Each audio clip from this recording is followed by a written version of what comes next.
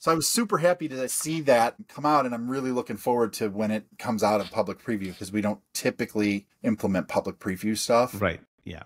And that's an interesting feature because it was one that I was closely involved in when it, when we were building it, and it was an interesting feature. So this is Entra's external authentication methods, which will allow third-party vendors, where it's not just Entra's MFA or SMS, you can plug in any other solution. There used to be this thing called custom controls before, Remember. which had a lot of limitations. You couldn't use it in conditional access or use it for SSPR and things like that. So it took a while to like come up with the, the right way and the right approach. And also at the first one with custom controls, the vendors had to be in a, like an allowed list. So In a special the program. people who could implement it. So, for example, Right. if you wanted to build your own custom thing for McDonald's, you couldn't do it in that model, or it would have taken even longer.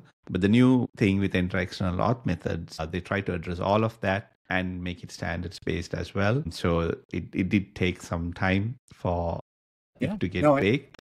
Absolutely. And, you know, I, I, I joke that I was hounding people about it, and I was because it was a need for us. But I understand it, right? It, it's a complicated thing that you, you want to try and get right because you're, again, you're allowing people to plug into an API. And once you start having third parties plugging into that API, you're kind of Yeah. committed